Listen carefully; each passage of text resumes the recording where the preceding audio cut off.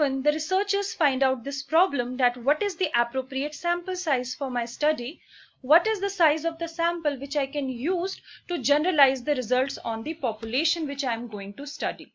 So the answer depends on number of factors including the purpose of your study, the population size, risk of selecting a bad sample and the allowable sampling error. So as per Miaoulis and Michener 1976, apart from the purpose of the study and population size, there are three more criteria which the researcher should pay special attention to while determining the appropriate sample size that is the level of precision, the level of confidence or risk and the degree of variability in the attributes being measured.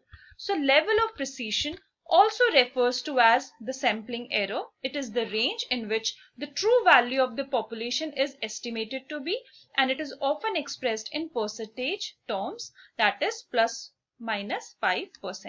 So for example, if a researcher finds out that 70% of the students in the sample have adopted a recommended practice of submitting the assignment with a precision rate of plus minus 5%, then the researcher can conclude that between 65% to 75% of the students in the population have adopted the practice. So this is the interpretation of level of precision and it is also known as the margin of error.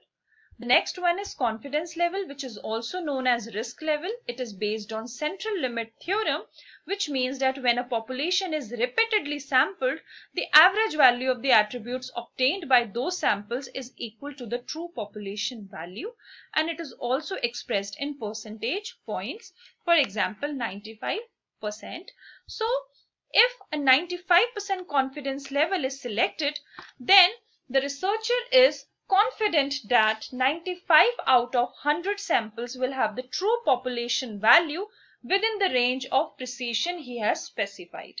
So if 95% confidence level is selected, so this is the normal distributed curve where this is the population mean. So it means that 95% of the sample means within the two standardized deviations. So these are the deviations. These are the black uh, shaded region and both of the black shaded region represents that the sample you obtain does not represent the true population value. So the, pop, the sample mean should fall into this area that is the white shaded area. Okay.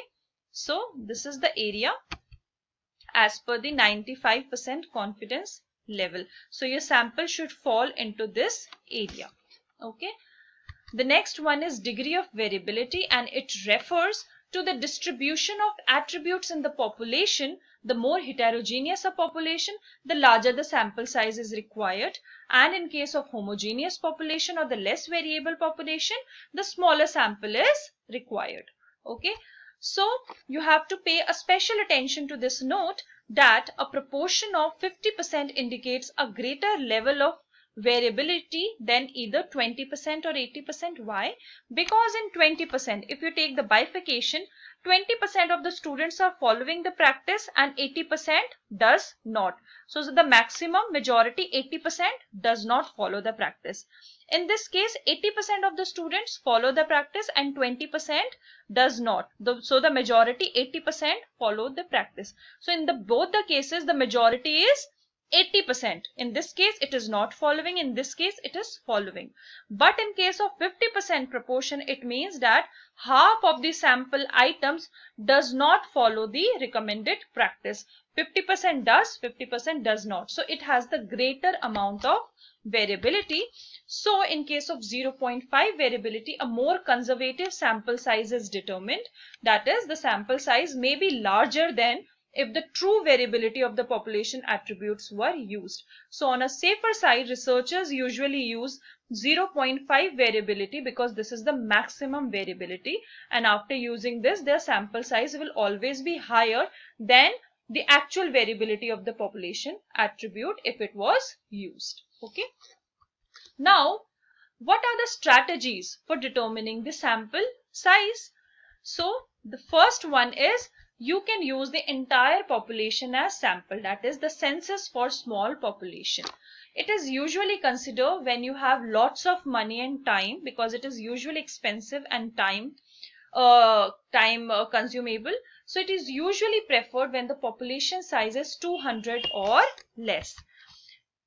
The other approach is that you can use the same sample size as of the studies which have already done on the same topic of your research that you are going to do. So you can use the literature review in your discipline and then it can provide you a guidance about the typical sample size, sizes that the other studies have used so that you can use the same sample size or the same approach. Or you can use the published datas. So there are various published tables which are available as per different authors formulas. So you can uh, recommend any of the published tables and you have to pay attention that there are certain assumptions on the basis of which these published tables are made but the usually assum usual assumptions are that the recommended sample size reflects the number of obtained resources and not the number of questionnaires that you have sent to the people. So you should receive the recommended sample responses from the respondents and the attributes measured are normally distributed. So this is one of the sample that you can see that this is the published table as per Yamane's 1967 formula where first column is the size of population and this is the sample size as per the different precisions rate that is plus minus 3%, plus minus 5%, plus minus 7% and plus minus 10%. So you can use the available published tables. Then you can use the formulas in order to calculate the sample size. So these two Cochran formula and Yamane formula are the most widely used formulas. There are many more formulas available. So you can refer them but Cochran and Yamane are the most widely used and there is one more formula for sample size for the mean or the proportion which we will also discuss.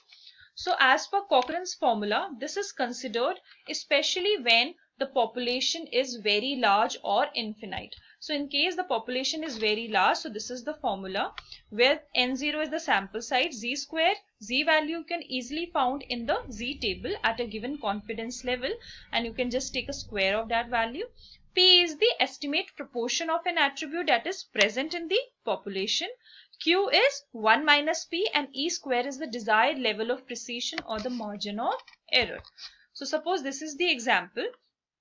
Assume that there is a larger population and you don't even know the variability in the proportion. So on a safer side, you are taking the proportion as to be 0.5 because this has the maximum variability. And furthermore you are assuming as to be the 95% confidence level and plus minus 5% precision. Okay? So you can simply substitute the values into this formula. When you substitute this you will get the value as 385 students.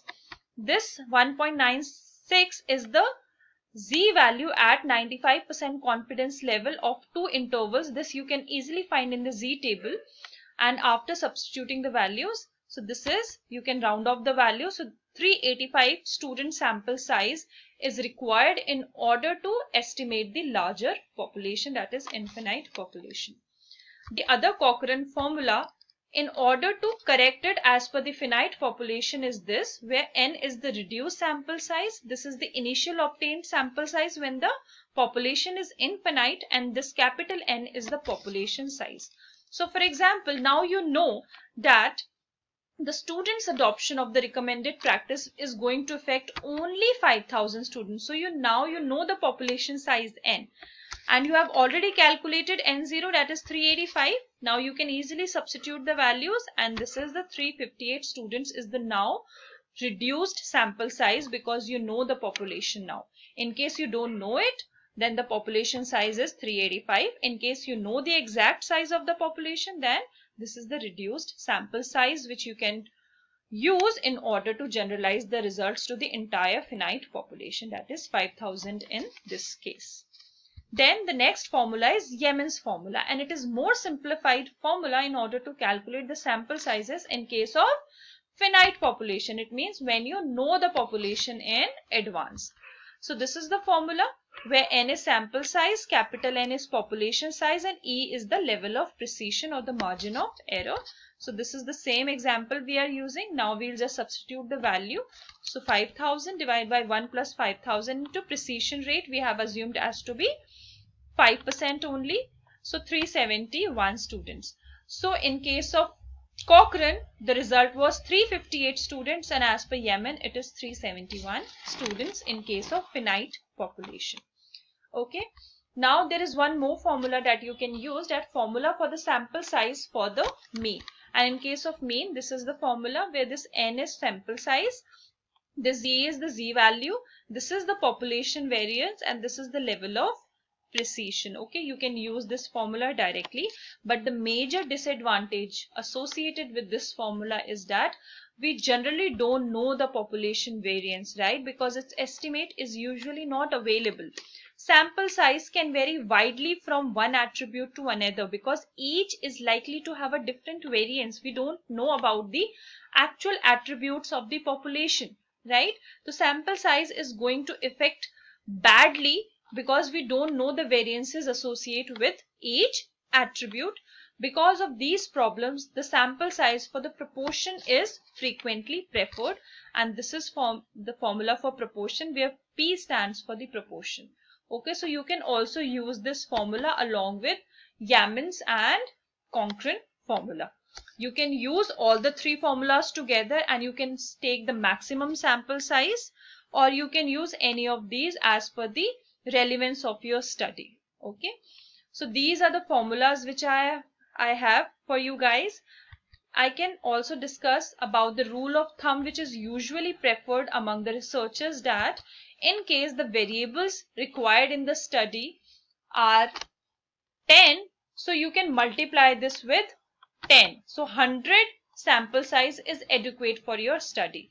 But in case you are multiplying this with 20 that is 10 variable into 20 then the sample size is the best for your study okay? So always analyze the variables with which you are going to obtain the data for your research and you can just multiply the number of variables with 10 or with 20 whatever the case and you can take the sample size for that. There are also various rules regarding to the statistical analysis. For example in case you are going to do the factor analysis there there are certain authors which have recommended the different kind of uh, minimum sample size requirement similarly in case you are doing the qualitative research in that case the sample size is much lower as compared to the quantitative uh, research. So always read the literature review in your discipline in order to get an idea about the sample sizes which are usually taken by the researchers okay? Don't just follow the formulas blindly. Always do a proper literature research in order to get an idea. And then you can use these formulas and these rule of thumb in order to find out the appropriate sample size which is manageable from your end. Because too much and much lower both are very hazardous for your study. So always take the best approach. All the best students. Thank you so much for watching this video. And in case you like it then please hit the like button and also share with your friends and with your colleagues. And also don't forget to subscribe to my channel. Thank you